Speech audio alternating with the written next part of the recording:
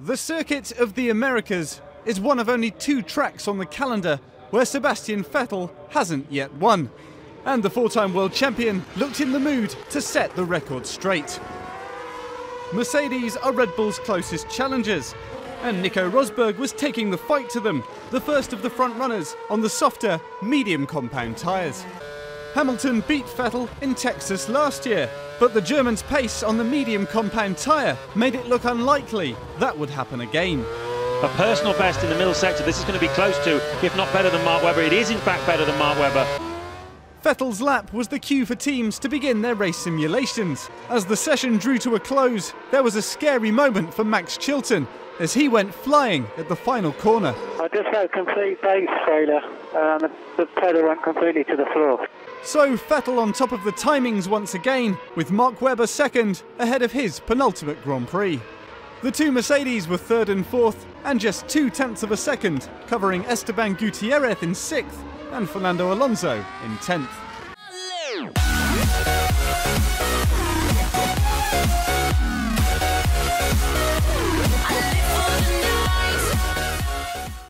Hey there guys, aarava here, and bringing you my F1 2013 100% race Ultra Modded Career Mode, and we're back once again with the United States Grand Prix for episode 18, the penultimate episode of this Ultra Modded Career Mode series.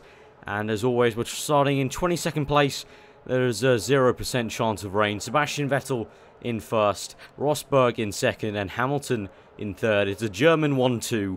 And uh, as always, starting 22nd, and we're going to have to try our hardest to overtake Lewis Hamilton here today. As of course, he's leading us in the championship by one point.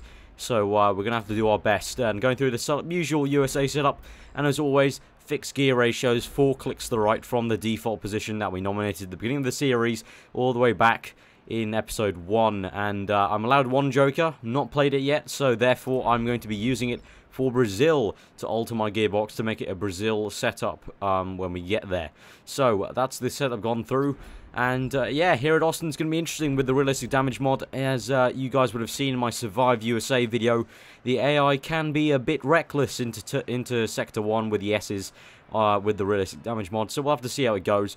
Uh, on the strategy, uh, looks like we're going option prime prime at the moment. We'll see how that goes. Going to be a normal fuel mix as usual, so that gives us hopefully like, at least one lap of uh, rich mix to use. Um, so yeah, we'll see how it goes into sector one and the first few laps. There is a high chance of a red flag, so we'll have to see about that. There was uh, one or two red flags when we did Survive USA, so it could easily happen here. But uh, let's get onto the grid for the USA Grand Prix here in Austin, Texas. You can really feel the uh, country and western vibe here at Austin, Texas. It's just permeating out of the circuit.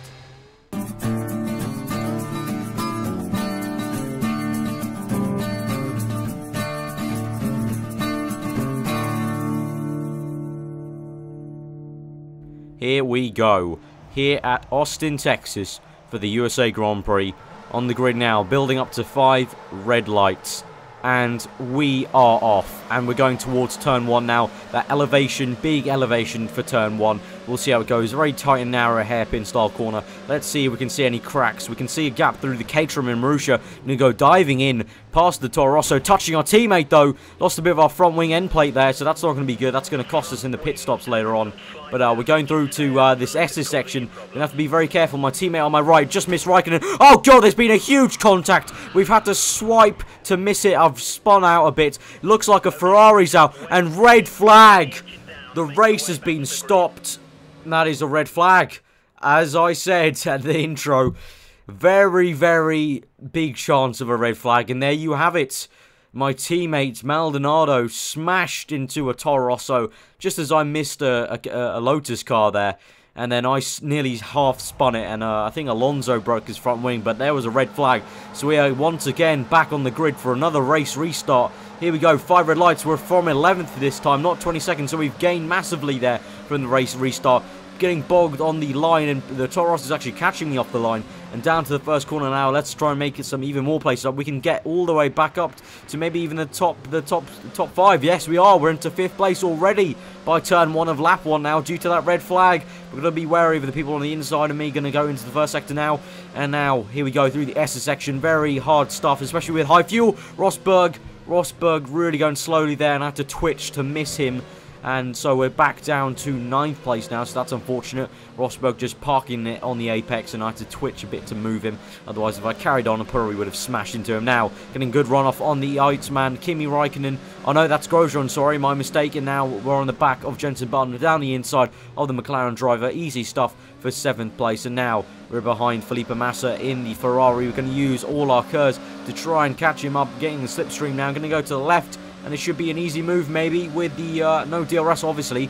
So uh, just on pure pace and using KERS down to lean mix for a bit to save some fuel and now we're behind Sergio Perez in the McLaren who's done well for himself. He's up into 5th place at the moment.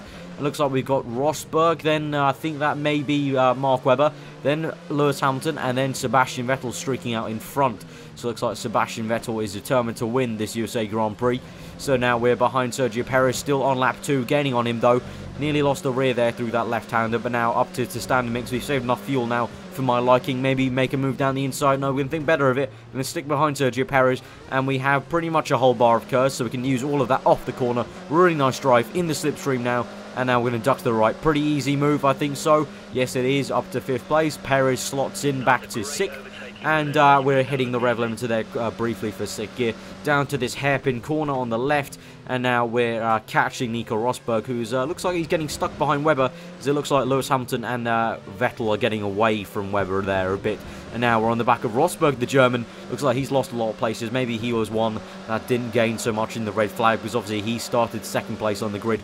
Now we're chasing after him on lap 5, using the DRS. Are we going to make a move? Last diving move down the inside and we have maybe made this stick for fourth place. He's still very much there, side by side with Nico Rosberg through this right-hander. He's still there, going to have to give him the room, but now who will breathe first? Looks like Rosberg did as I just held my breath and took it in for fourth place into Sector 1.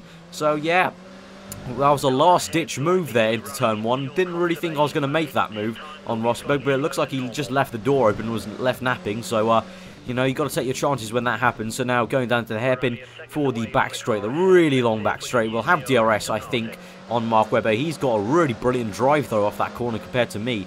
Look how much he's stormed away, but we're using the KERS. We've opened DRS. Can we maybe gain on him enough? We're gaining, we're gaining, we're gaining. Can we get him in the slipstream? Mark Webber down the inside, and we're going to dive down the inside and we're going to just about miss the apex though and looks like Mark Webber's going to push us off the time. We're going side by side with Mark Webber going down the inside of him. He's still around my outside giving him the room and the respect going side by side with Mark Webber. This is brilliant stuff. Still side by side. Webber pounces on me and dives down the inside and that's very weird for the AI to do. Yeah, very didn't expect that. He dived down me inside like uh, I would on an AI usually. So um, fair place to Mark Webber. He's holding me up here for the third place at the moment. Maybe helping his team out in first place to uh, secure the win for the whole race. And I'm going to just have to stick behind Mark Webber through these next few corners. Through the last corner now. Getting a nice kissing the apex, cutting the corner a tiny bit. And now going wide there as we're not finding the grip at the moment on lap 9. Opening the DRS though. And when the slipstream Mark Webber going to the right now. This should be an easy move on the right hand side of him and into turn 1. And yes it is. Now we're into third place now and now back down towards sector 1. On lap 9, we're in third place. It's brilliant stuff, and obviously we were helped out by with the red flag, but you've got to take all we can in the championship here. And uh, it looks like Hamilton is in uh, is struggling a tiny bit in second place now as we cut onto uh, lap 16, and it's very gloomy indeed. And we're trying to go around the outside of Hamilton. That's a very audacious move. Hamilton's coming to the pits. I've locked up a tree. Massa's uh, has Massa coming to the pits? I'm not too sure. No, Massa's stayed with me. So it's uh, lap 16. I was about to say uh, the track has got very gloomy indeed. Look at the just the weather compared to lap 9. Very gloomy indeed. And now onto lap 19. Still going on these option tyres, and I think now is the time to pit as we uh, are struggling on these tyres quite a bit here on lap 19. So into the pits, taking a very wide line, narrowly missing the wall there.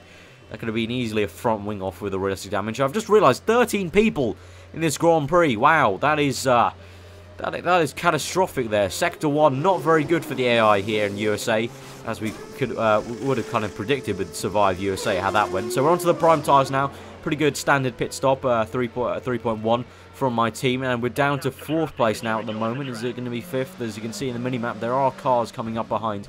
But uh, no, it is it is fourth place. Massa's third. I believe Hamilton is second, and I think uh, Vettel is still very much in first place on lap 20. And coming on to lap 24 now, we're chasing down uh, Felipe Massa, taking the life out of these prime tyres. Obviously, with new tyres, you get a bit fresh grip for about five laps time, where you're really using that to our advantage, gaining on Massa massively through Sector 1 really able to carry the momentum uh, compared to the AI, especially through this corner. I can carry so much more speed on the right and the left-hander, getting great traction there, having to lose the lose lost the rear a tiny bit, snapped on me, but now we're getting on Felipe Massa, who's on the option tire, in fact, so that's very surprising that we've actually overtaken him there down to the hairpin corner, having to recorrect my line just so we don't hit the bollard there. But yeah, uh, Massa on the option ties, and we've somehow overtaken him on the prime, so uh, working well for us, and now we're going to use all the KERS off the corner, obviously, and hoping that he doesn't catch us. He's uh, gaining on us a bit, though. I think he has DRS, because obviously I don't. So uh, looks like he's getting on me, but looks like obviously he's not going to make a move. That would be quite stupid of him to try and make one that uh, when he's that close. So on to lap 30 now. We've set the fastest lap of the Grand Prix so far. Lewis Hamilton there, as you can see, is in second place. Sebastian Vettel still in first place. It is very gloomy still. Track temperatures are plummeting down. It's getting very cold indeed, and that might help the tyres a tiny bit to cool down as uh, heat degradation is a very big factor here in USA. So now we're catching up to Lewis Hamilton, who looks like he's being held up there by Marussia, who's saying purple times, and Hamilton is being held up an absolute treat here, and we're catching him ever so much. And here we are, we caught up to Hamilton being held up by... Uh, well, one of the Marussias, we'll see if it's Chilton or not. Uh, I suspect it probably is. Trying to make the move on Hamilton. Yes, it is Chilton. Good old Max Chilton. He's uh, held up Lewis Hamilton for us. And now we're going to use the KERS. And we will have DRS, obviously. And uh, Hamilton will have DRS also to try and overtake Chilton over blue, blue flags. But we've got the momentum. Getting slipstream from Chilton and Hamilton. We're going to make a move on the left-hander. We're gonna, not on the left hand, I'm going to move left. And we've just about made it down the inside. We've parked on the apex of the uh, exit. And we've got the move done for second place. So pretty nice. But we've gone wide, though. Hamilton's going to come back at us. But we're just about kind of held it for second place. And now uh, Vettel is about seven seconds ahead. That's going to be tough to catch, I think. That's not going to be one we can maybe catch very easily. Onto lap 31 now, going down the back straight. And uh, it's looking pretty okay at the moment. The skies are still very dark. Hamilton is behind me, though. He's got DRS. Will he make a move? This can be audacious if he does. Down the inside, he does make the move. We're going to give him room. Locked up a treat, though, on the right tyre. And he's... Oh, God. Hamilton's actually squeezed off there a bit. Um, so, yeah. Down to third place. Bit of an annoying uh, thing for Hamilton to do. Kind of squeezed me off. Didn't give me enough room there. But, uh, fair dues. I've maybe not given uh, much room to AI before, so maybe that's karma coming back to bite me. So uh, we're behind Lewis Hamilton at the moment, so as it stands, if it finishes like this, he will gain 3 points on us, because obviously he will get 18 points, I will get 15, so that means he will lead by 4 points going to Brazil, which is not ideal. I would ideally like to be leading going into Brazil if I can, and can help it, uh, that'll be the best option to be in. Because if we're chasing Hamilton in Brazil, that's going to be a very tall order. So now we're in, uh, we're in DRS, obviously, getting the slipstream now. Will we go to the left? Yes, we will. Hamilton trying to go defensive on the inside, but I've just said no, I'm going to go on the left. And we've locked up a, a bit on the left, but looks like Hamilton locked up even more onto lap 32. And we're back up to second place. And now we're using the KERS on the uh, pit straight, lap 35 now. And uh, our pace is starting to drop a tiny bit, and Hamilton is still sticking with us. And there is Sebastian Vettel, I think. That is Sebastian Vettel has just come out. He's made his pit stop already. So he is right with us, and he's already made his pit stop. So uh, Vettel has definitely got this win in the bag for sure. I've just realised there's only 11 people on the Grand Prix just dropping like flies here at the moment here. So now we're on the back straight here on lap 35 and Vettel is catching us. He's on fresh tyres obviously. He's just come out of the pit so he's going to get us and uh, we're going to try and stick with him in the slipstream coming down to the braking zone. Now, oh God, Jesus Christ, we've hit him and we've locked up. We've lost a bit of our end plate there, locked up horribly. Very lucky not to go into the wall there. Could have been very nasty, could have smashed right into the wall. But yeah, that wow, that is, uh, that is very annoying indeed. So we try to get in the slipstream of Vettel to try and stick with him, try and get a bit of speed and maybe get him into the braking zone. But I just misjudged how early he would be braking and I've hit my uh, front wing end plate on the left hand side. So that's unfortunate. We're going to lose two seconds in the pit stops at least. And now we're catching on to Hamilton. You can see I just went completely wide there. The understeer is already kicking in there on my car. Hamilton's into the pits now. I'm staying out on these prime tyres. Um, I'm not too sure. I can't remember if uh, Hamilton was on options or primes. Uh, can't remember for the life of me, but we're staying out because we're on the prime tires, obviously. And we're going to go to the options on the end uh, for the last stop. And now on lap 39, here we go. Our tires are pretty red, taking a very wide line into the pits. Yet again, getting very close to the wall there. But now we're uh, down into the mix, into the pit stops. We're going to lose, obviously, two seconds due to the front wing change. But we're going to the option tires now. Hopefully that will uh, give us the boost we need to try and catch Hamilton. So making the pit stop now. It's going to be about five seconds, I'm guessing. And uh, yes, he is a 5.6, so that's quite a lot of time lost. And we're down to fourth place indeed. Nico Rosberg set the fastest lap of the Grand Prix.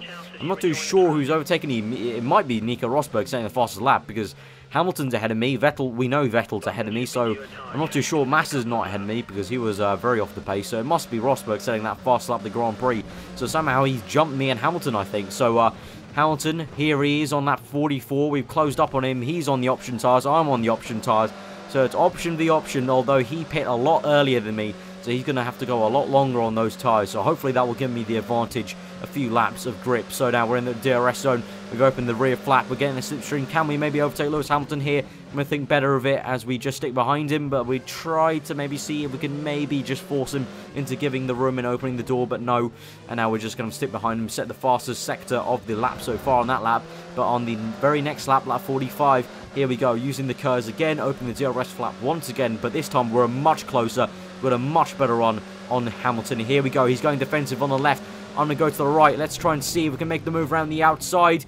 He's going to give, them, me, give me the room, hopefully. We park it on the apex corner of the exit, and there we go. We're up into third place, setting the fastest sector of the lap again. Yes, and Nico Rosberg is in second place. Confirmation that he has somehow jumped me and Hamilton. I think maybe when me and Hamilton were squabbling on the prime tyres, uh, and I was struggling on the prime tyres at the end. Maybe Rosberg jumped us. And I was come to 49. This is the most interesting thing. There's only eight people in this Grand Prix, and Sebastian Vettel is not one of them. I think he's I think he's out of the Grand Prix. I think he must be because he's not in first place anymore. Nico Rosberg is winning the race. I'm now into second, and Hamilton is into third. So somehow, I think Vettel has maybe crashed with someone, and we, as I'm talking there, we just had a horrible exit onto the main straight, and Hamilton's going to overtake us now. This is just, oh god, this is horrendous stuff. Hamilton's overtaken us with DRS, got a horrible exit onto that onto that straight, and now I'm going to try and see if we can stick with Hamilton. Going to dive it down the inside.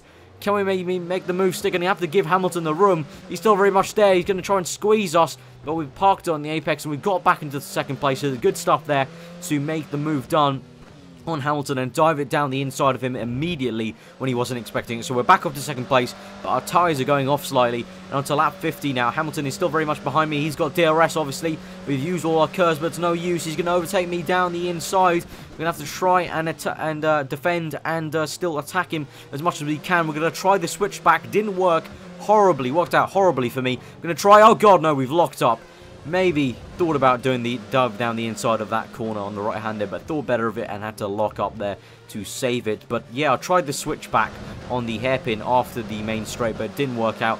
Here on lap 52 though this is our best chance now. Opening DRS using the KERS on lap 52 can we overtake Lewis Hamilton in the Mercedes this is for the championship lead going to Brazil can we make the move stick down the inside, getting very close to his rear tyre, locking up a tad, going wide on the uh, AstroTurf there, but we've made the move done into second place. Rosberg still leading by some margin. Eight people still left in this Grand Prix, losing the rear tyres a tad. But now on lap 53, we're coming through down to the penultimate corner there. Going very wide though, understeering completely wide, and Hamilton's gained on us now. Down to the first corner, he's having a look. I've squeezed him out though, and now we're going to the pit straight onto lap 54. And we've uh, lost the rear, and Hamilton is going to gain on us. He's got DRS as, as well, and usually DRS is not very effective down this straight, but I've lost the rear coming onto this straight, and he's overtaken me into second place. He has got second again, and he's got the championship lead once again. And we're still going to try and chase after Hamilton. Can we stick with him for the next two laps on lap 56? Looks like he's completely bolted. He's two seconds away, and it's no use. And oh god, Jesus, we've hit our front wing. Ah, we've lost Hamilton. Nico Rosberg wins the race.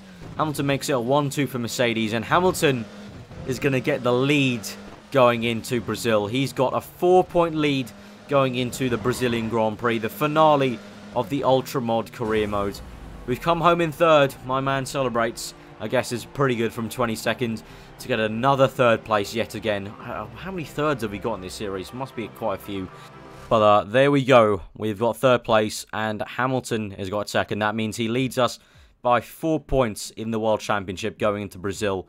And many of you have been asking in the previous episodes, will Brazil be double points? I can tell you now, yes, it will be. Brazil will be double points, therefore it's all to play for going into this finale. It should be an absolute stunner going to Brazil. But if you guys did enjoy this one, do be sure to give it a like. Comment below what you thought of the race. Subscribe if you're new for weekly F1. And obviously, that brilliant finale. After 18 100% races, we're going to be doing a final one at the Brazilian Grand Prix around Interlagos. Double points for the World Championship. Hamilton leads me. I must beat him in Brazil. He leads by four points. Alonso's in third place. He could actually still win the championship if me and Hamilton don't score points in Brazil, which is unlikely, but still up for grabs. So that should be an absolute stunner there at Brazil. But if you guys, again, did enjoy this episode, give it a like, favorite it if you will. Comment below if you uh, thought it was good. And um, yeah, I'll see you guys next time. Hope you enjoy the rest of your day. And I will see you guys next time for the Brazilian Grand Prix, the finale of the Ultra Mod series. I'll see you guys next time. I'll leave you with the celebrations.